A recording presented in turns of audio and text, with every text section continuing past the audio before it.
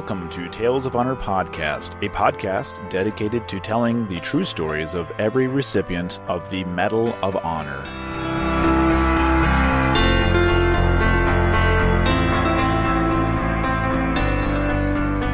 Hello, everyone, and welcome to today's episode of Tales of Honor podcast. I'm your host, Christoph Ambrosch, and it's a new month, but not a new campaign. We're going to keep right on trucking with the Philippine American War. Today's episode is episode number 364, and I have one birthday to go over today, and it was actually yesterday, December 1st, 1969. That birthday belongs to Britt Slabinski a former Master Chief Special Warfare Operator who received his Medal of Honor for his actions in the war in Afghanistan Operation Enduring Freedom. He turned 51 years old yesterday, so a very happy birthday to Mr. Slabinski. I covered his episode back on episode number 208, and I'll have a link in the show notes for you to go check out his story. He is also the oldest Medal of Honor recipient for the Global War on Terror. So he's the oldest of the youngest. That's another way to look at it. So that's all I have for today as far as birthdays. I have a few more coming up. So let's move right on into today's Tale of Honor. Like I said, number 364. Frank was born on the 10th of November, 1875, in Fort Abraham Lincoln, which is now North Dakota but was then the Dakota Territory. At the age of 15, his father died from complications of the wounds he received as a Union Army soldier in the Civil War. Frank then went to work with the Northern Pacific Railroad and later became a machinist.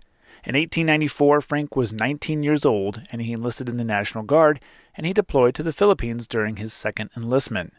It was his actions as a corporal on the 13th of May, 1899, with Young's Scouts that would earn him and 11 others the Medal of Honor.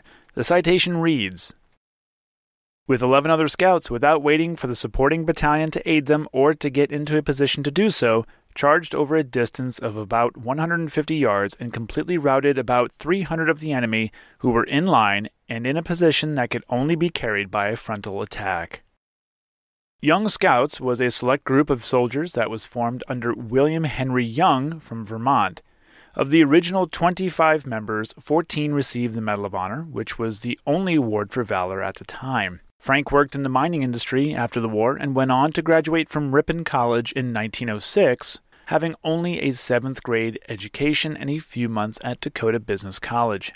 He received his Medal of Honor on the 3rd of March 1906 and went on to the University of Wisconsin Madison to study civil engineering.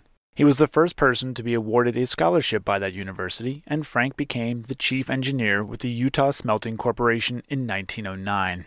Frank was commissioned as a captain in 1918 with the Corps of Engineers, and he was transferred from Fort Dodge, Iowa, to Fort Riley. He ended his time in service as a major, and he and his wife Mary had one son and one daughter.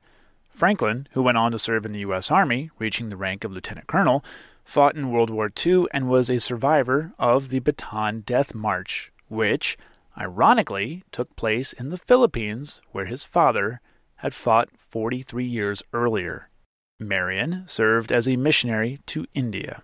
Frank Lafayette Anders died on the 23rd of January, 1966, at the age of 90, and at the time he was the oldest living Medal of Honor recipient.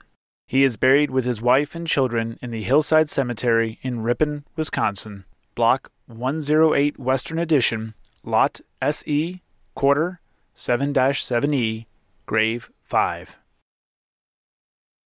And that was a tale of honor. Thank you for listening to Tales of Honor Podcast. Head on over to talesofhonorpodcast.com where you can read these stories, see other ways to support the show, and easily share a story with your friends and family. Tales of Honor Podcast is written and produced by Christoph Ambrosch, and theme song, A New Beginning, is by Bensound. If you have any questions or comments, you can send them to talesofhonorpodcast at gmail.com. And until next time, I'm Christoph Ambrosch. Thanks for listening.